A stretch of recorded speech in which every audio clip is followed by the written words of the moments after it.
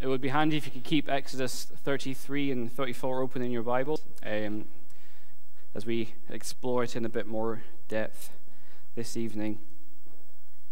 So I wonder if you've ever tried to be something that you're not. I know it's a very broad question, but just think about it for a minute. Um, have any of you ever been in a play or been an actor or an actress or something, maybe for a short time? You know, you go in there, you learn your lines, you play your part, and you may be convincing, but if somebody comes and asks to you, well, what's your character's favorite color? Where, where were they born? What was their best friend at school's name? It just all falls apart because that's not what you know about them. All you know is the lines that you've learnt about that character. Maybe you've tried to pretend to be older or younger than you are. You know, I know some women who have been 31 for about 40 years. Um, none of them are here, I hasten to add. you know, maybe um, maybe you try to be older. Maybe you're wanting to go and see a movie that's maybe it's an 18 rated, but you're only 16. So you try and maybe you don't shave and all the fluffy bits come out, and you know you try and make yourself look older. Maybe you dress a bit smarter. You know, maybe you've had a little bit too much wine with your lunch. You know, you may be a bit tipsy, maybe even a little bit drunk, and maybe you're trying. You know, you, you're going somewhere and you, you try and you pretend to be completely stone cold sober. Well, it's not going to work, is it? You're not going to fool anybody because remember, kids, adults always know. They might pretend that they don't, but they do. They always, always know. It doesn't really take much for the facade to fall away and for the truth to be exposed when you are pretending to be something that you're not. Lies will only take you so far, and you'll find that a lie will build upon a lie and a lie and a lie, and eventually they'll all just fall away, and the truth will be out there for all to see. You see this with people all the time. You see it when uh, people are trying to be really, really religious. Human beings have this tendency to try and be religious about everything. They try and come up with ideas or ways of making themselves seem more important, making themselves seem more pious, making themselves be holy. It's like, how can I be holy? You see this today in some segments of the church, but it's not new. It's been around for thousands of years. You, they come up with lists of things not to do if you want to be holy, if you want to be pure. So you don't drink ever, don't smoke, don't swear, don't go shopping on a Sunday, don't dress a certain way, don't listen to certain music, don't watch certain movies, don't fraternize with certain people. And so on. And so on. All you need to do is focus on the law of God. I read one quote this week, which I'm not going to read to you in its fullest because it was a bit wrong. But its emphasis was that if you drop everything in your lives, that you, all these things, and if you just focus on obeying the law of God, then you will be made holy. You will be made pure. Basically, he's just a modern day Pharisee. Now, not that all this list is wrong in itself, but the idea that simply by avoiding these things can make you holy is very wrong. Again, this isn't a new idea. The idea of linking your, your holiness, your purity, to your actions isn't a new concept. You simply have to read the Gospels to see this. When you read about who was the largest opponents to Jesus' ministry, you remember that it was the Pharisees. The Pharisees were an important political and religious faction in first century Palestine, and they were considered to be holy men. Men who dedicated their lives to following every word of God's law in their pursuit of holiness. They were, they were very harsh and very judgmental on people who weren't like them. They would call out and expose people's sins as often as they could, whilst always ignoring their own. The Pharisees were fond of calling people sinners just because they were regular people. just because they were normal people like you and me, just because they didn't spend every waking moment of their lives studying the law of God. They, saw anyone who followed the way of the contemporary culture, who followed the customs of the day rather than focusing on the law as being sinners. The Pharisees were very, very strict. They had no room for error. In fact, the, the word Pharisee itself is derived from a Hebrew word meaning separated one. They saw themselves as being separated from everybody else because of how important they were. Nothing was more important than trying to keep the law of God in all its entirety. They believed that you could be holy by keeping your distance from anyone who wasn't, somebody maybe with slightly loose morals. So it was important for them that in order to maintain their holiness, to maintain their sanctity, to have no dealings with people they regarded as sinners. Now, we're talking about a group that existed 2,000 years ago. But a lot of these things we can see in our own world today. There are Christians who act like this, who actually believe that there is some sanctity in avoiding contact with unbelievers or people of different beliefs, even different cultures. Well, remember, Jesus didn't do this. He didn't separate himself from those who were sinners or those who were unbelievers. In fact, he, he spent time deliberately with them. And this was one of the reasons why the Pharisees hated him. We read about Moses this evening, and Moses also did none of these things. Moses himself, after all, was a murderer and a coward. Moses became holy not because of anything he'd done, but because God was with him, because he talked with God, spent time with him, and his holiness passed on to Moses. Now, I wonder have any of you ever tried to be the holiest you can be? To be the purest you can be, to be the nicest, most awesomest person in the world. And I wonder if you succeeded. Are you holy today? More importantly, do you see God as being holy? And what does being holy even mean? What does this word really mean? So, two points for this evening's message. First, being the meaning and the source of holiness. So, a bit more language lessons for you. It's only one word, I promise. So, the Hebrew word for holy is kodesh and roughly translates to being apartness or set apartness, separateness, sacredness, otherness, transcendence, and so on. These kind of themes. It is assigned to God because God is totally above all of his creation and all of his creatures, which includes us. Holy gives the idea of a kind of heaviness upon it, a big huge weight of glory. In the New Testament, okay, there's two words, I lied. In the New Testament, the word for holy is hagios. This again means set apart, revered, sacred, worthy of veneration. This word applies to God because God is these things. He is totally separate, He is sacred, transcendent, He is revered, and He is set apart from every single created thing, the entire universe, from every planet, every person, down to every microscopic atom. What else do you think? What else do we refer to as holy in our daily lives? Well, most of us probably see it every day when we pick up our Bibles, because it says right there on the front, Holy Bible. Why is the Bible holy? Not because it's a book, there are hundreds of thousands of millions of books that aren't holy. But why is this one in particular? Is it because it's made a certain way? Because it's a certain kind of paper? None of these things. It is holy because it is from God. What else do we call holy?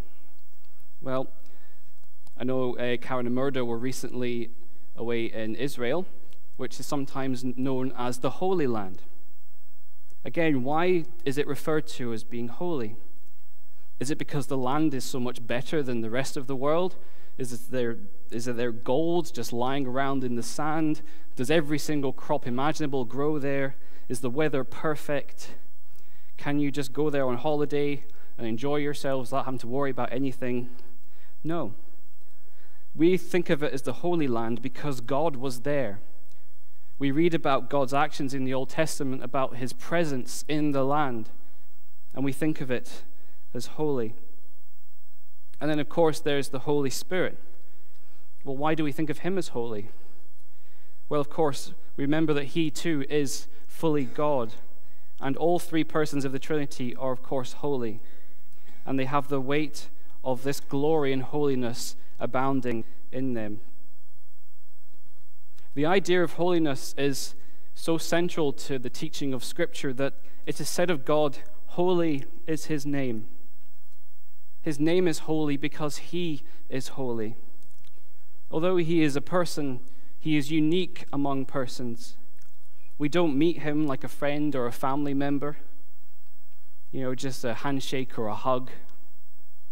But we meet him on our knees in true awe of his glory. We read in Exodus 3 in the account of God speaking to Moses from the burning bush. Do not come any closer, God said. Take off your sandals, for the place where you are standing is holy ground. Then he said, I am the God of your father, the God of Abraham, the God of Isaac, and the God of Jacob. At this, Moses hid his face because he was afraid to look at God. Again, why was that ground holy. Not because there is anything special about it, not because it's magical or it's got healing properties or there was treasure there, but simply because God was there. And Moses is told to remove his sandals in respect. And at this time, he is too afraid, too frightened to look upon God. What about later on in the story of Exodus in chapter 19 when Israel meets with God at Mount Sinai. Here, the whole mountain is considered to be holy ground. We read from chapter 19, verse 23. Moses said to the Lord, The people cannot come up Mount Sinai because you yourself warned us.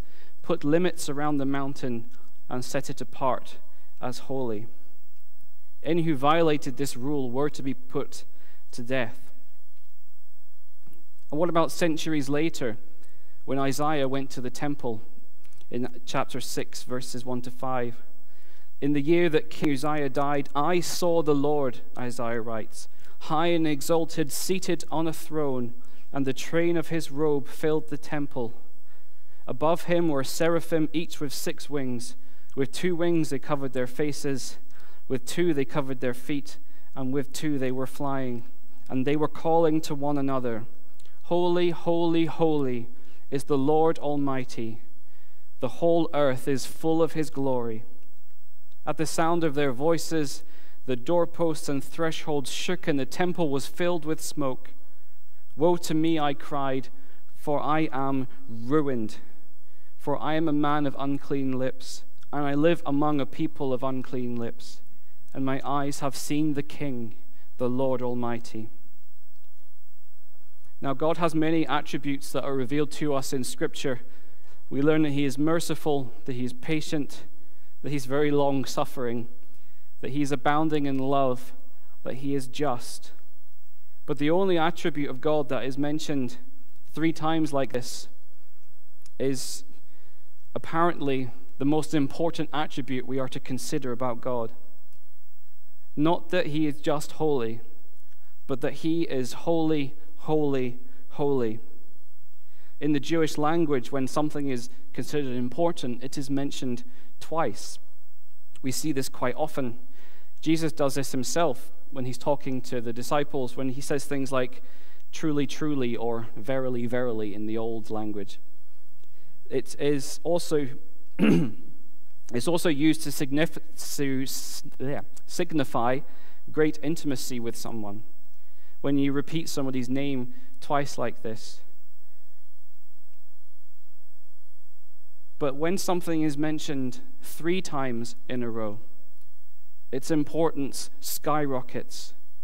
And this is why all of the out of all the attributes of God, the fact that he is holy, holy, holy is the most important. This is the greatest emphasis that can be put on anything or anyone in Scripture. And this is telling us, again, that this is the most important thing about God. John Frame, the theologian, uh, writes this Holiness, then, is God's capacity and right to arouse our reverent awe and wonder. It is His uniqueness, His transcendence. It is His majesty for the holy God is like a great king whom we dare not treat like any other person. Indeed, God's holiness impels us to worship Him in His presence. Because we are sinners as well as creatures, God stands over us not only as transcendent, but as ethically pure. It is particularly as sinners that we fear to enter God's presence. When Isaiah hears the seraphs cry, Holy, holy, holy, he immediately remembers his own sin.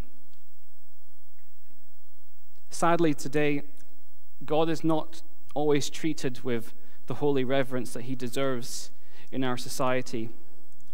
His name is taken and trampled through the mud everywhere you go. You can't read a book, you can't watch a television program or see a movie without hearing God's name be taken. It is, it is used as a curse word, as an expletive. The world has little respect for God's name, and this shows that they have little respect for Him. There is no honor, there is no reverence, there is no awe. But when Moses asks to see, asks to see God's glory in Exodus 33, God proclaims to him his name. He is saying that if you truly grasp the importance of the name of God, then you have seen his glory and you know his holiness. God is not mucking about with Moses when Moses asks him to show me your glory. Show me your holiness, he asks. And God answers with, This is my name. The names of God are the manifestations of his glory. The name we hear in verse 19 is the name Yahweh the same name that we heard back in Exodus chapter 3, verse 14, with the burning bush. The, the name Yahweh was explained as meaning, I am who I am. Here it is instead explained with the words, I will be gracious to whom I will be gracious. Sorry, my thing is frozen. Notice how these sentences Although they sound different, they're both built in the same way. In Exodus 3, the focus was on the existence of God. I am who I am. That He is what He is, without anything other than Himself determining His personality or His power. And in Exodus 33, the focus is on His actions and His grace. That He does what He does. Anything without anything other than himself determining his actions, his choices. This is what God reveals about himself when Moses asks to see God's glory. In verse 18 of Exodus 33, Moses pleads with God, Show me your glory. And God answers him, I will make all my goodness pass before you. I will proclaim before you my name and I will be gracious to whom I will be gracious, and will show mercy to whom I will show mercy. And this leads us on to our second point, which is Moses' request and the reflection of holiness. So we've heard that Moses asked God to show his glory to him. It's a very, very brazen request, really, isn't it? When we think about how he was at the burning bush, hiding his face because he was afraid to look upon God now he is asking to see it, he is demanding to see God's glory. No one is allowed to see the face of God. The Bible warns us of this here. No man can see the face of God and live. One would think that Moses had maybe already seen enough, having witnessed God's glory at the burning bush, having seen his actions through the plagues of Egypt and the parting of the Red Sea, and all the other gifts and miracles God had performed. But still, he wanted more. He wanted the most ultimate spiritual experience he could have. He asked God, Show me your glory, show me your face. But God refused him. I will cause my goodness to pass in front of you, the Lord says. I will proclaim my name, the Lord, in your presence. I will have mercy on whom I will have mercy. I will have compassion on whom I will have compassion. But you cannot see my face, for no one may see me and live. This is what the Lord does. Then the Lord said, There is a place near me where you may stand on a rock. When my glory passes by, I will put you in a cleft in the rock and cover you with my hand until I have passed by. Then I will remove my hand, and you will see my back, but my face must not be seen. Now, this is where it gets a bit odd. For when God told Moses that he could see his back, the literal translation of the text can be translated as, You can see my hindquarters or my backside. God allowed Moses to see his backside, but not his face, never his face. Now, generally speaking, in our culture, we tend to think of the, the backside of things as being the worst side, really. When you buy a piece of furniture, a bookcase or something that sits against the wall, the, the back of it is often bland, it's not decorated.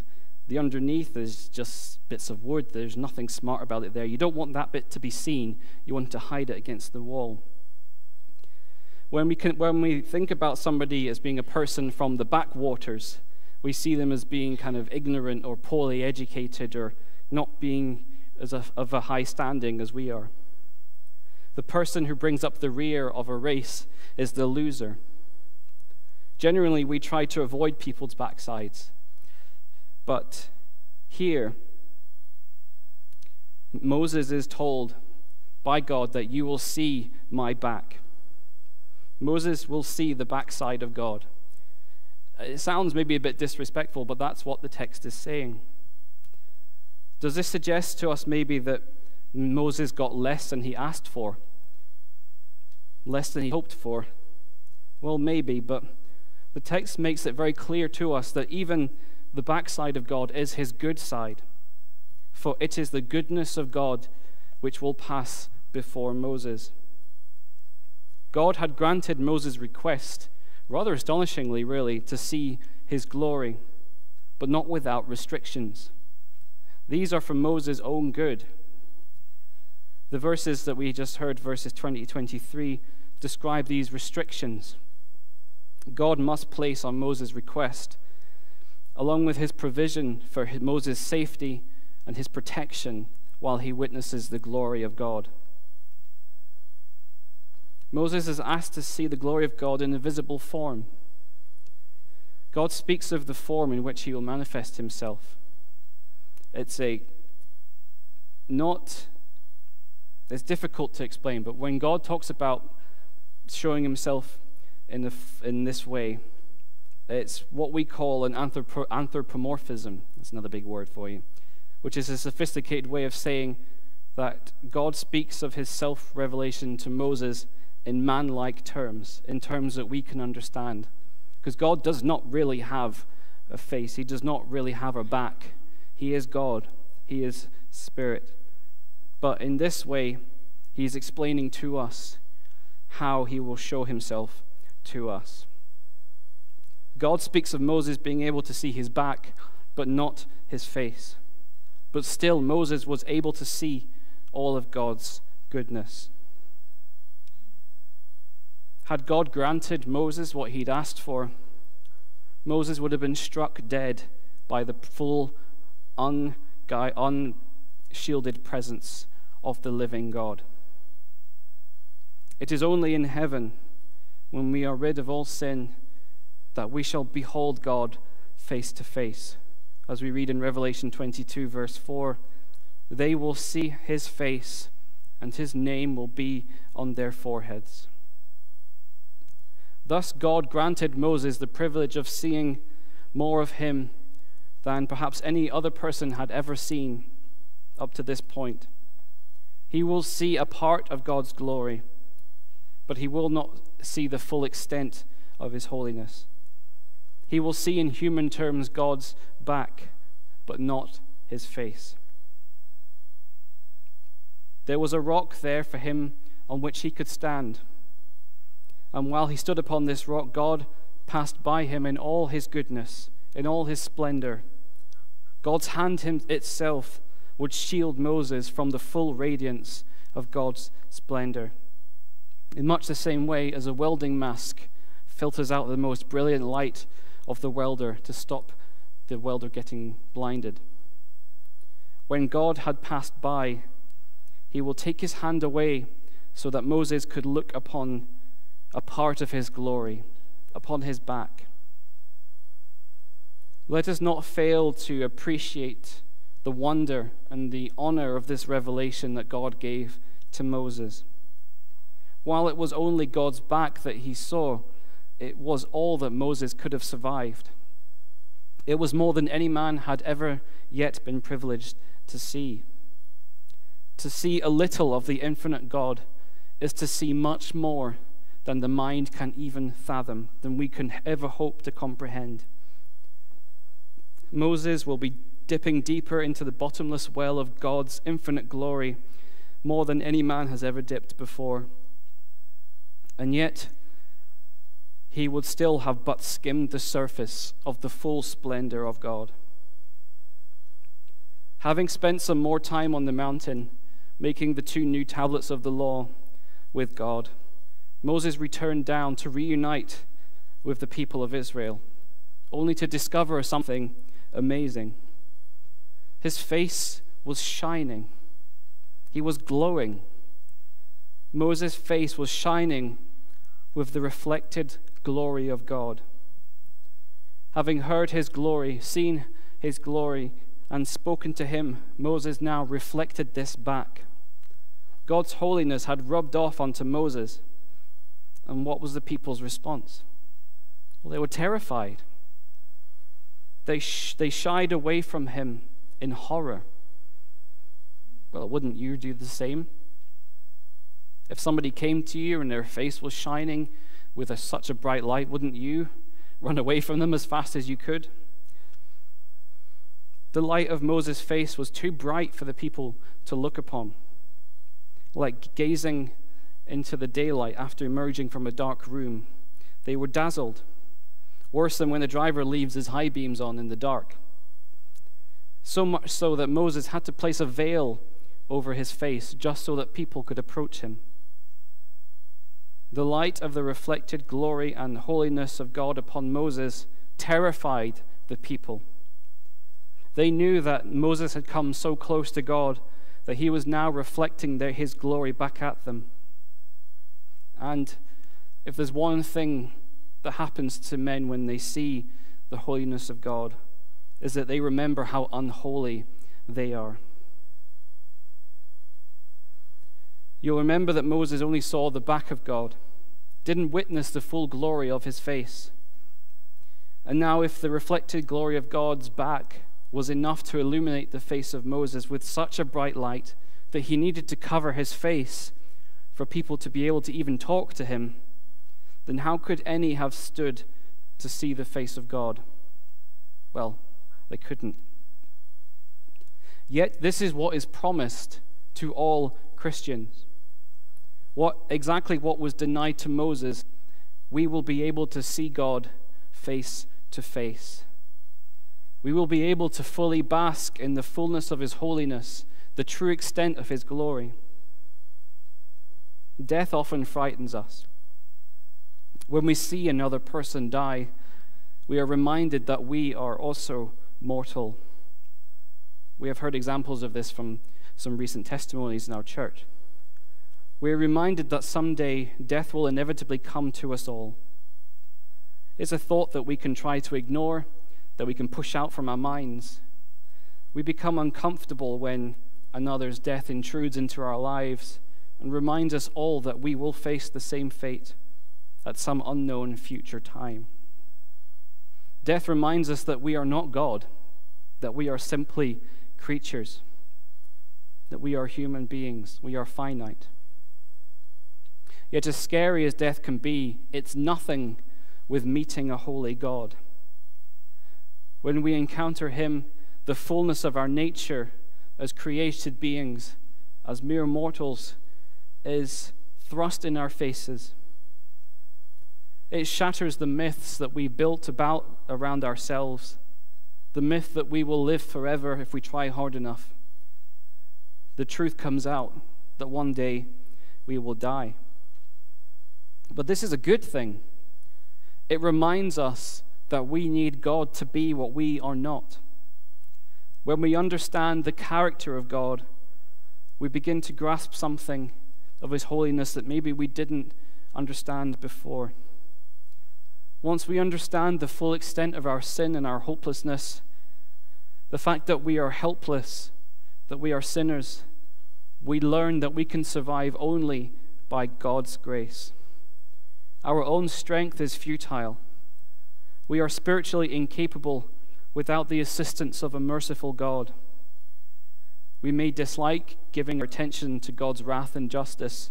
It may make us uncomfortable. But until we incline ourselves to these aspects of God's nature, then we cannot fully appreciate the gift that was bought for us by His grace. Even John Edwards famous sermon, Sinners in the Hands of an Angry God, was not designed to stress upon the horrors of the flames of hell, but instead focuses upon the hands of the Holy God who holds us up in his hands and rescues us from that fate. The hands of God are gracious, loving hands. They shielded Moses from the light of his glory that would have killed him. They alone have the power to rescue us from certain destruction and death. See, ultimately, being holy, having holiness, has nothing to do with us. We cannot become holy on our own accord. We cannot buy it or work for it. Like Moses, we can only obtain this holiness from God. We shouldn't be terrified by this holiness anymore because with the death of Jesus Christ and the grace of God, we are now filled with such awe, with such deep gratitude. Here is a holy God, a God that transcends everything that we know, that we understand, that we fathom, giving his life for us, a bunch of sinful creatures. We remember John's vision in Revelation 4, verse 8. Each of the four living creatures had six wings and was covered with eyes all around, even under its wings. Day and night they never stopped saying, Holy, holy, holy is the Lord God Almighty, who was and is and is to come.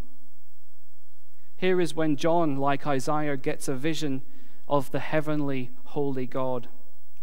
He sees a vision of Jesus Christ, his holy glory, and the angels also having six wings in the same way that Isaiah saw them. And they're continuously, day and night, never stopping, never ceasing, repeating, Holy, holy, holy is the Lord God Almighty, who was and is and is to come. This who was and is and is to come shows us the eternity of the eternal the eternal face of Christ that he was always that he has always existed and does exist now and will always exist. He is holy to the third degree. Holy holy holy. Because Jesus is also God. These creatures had the six wings for the same purpose that they did in Isaiah's vision. They flew with two, and they covered their face or eyes with the others, and they covered their feet with the remaining two. This shows us just how holy God is, that even the heavenly beings cannot look upon his face, that he is above all things, that he is truly holy. Some have theorized that this mentioning of the holy three times could maybe indicate that there is one holy for each of the person of the Trinity. I'm not fully 100% sure about this, but it's a theory. And that he is omnipotent, that he is omnipresent, that he is om, om, om, om, om, om, omniscient, but most important, that he is holy, holy, holy. So, do we need to be holy people tonight as we go home? Yes, we do. But the important thing to remember is that God does tell us that He's wanting us to make ourselves holy, that He doesn't want us to simply be holy. But as it says in 1 Peter chapter 1 verses 15 and 16, but just as he who is called he who called you is holy, so be holy in all you do, for it is written, Be holy, because I am holy. We are holy because God is holy, not because of us, not because of our actions, our deeds, whether we do certain things or not, but because we put our faith and trust in a holy God who imbibes us with this holiness. God, through Moses, tells the children of Israel that they must be holy. Be holy, he says, because I, the Lord your God, am holy. In Leviticus 19, verse 2. How can we be holy, though, even with this, because we are wicked to the core? Is this even possible?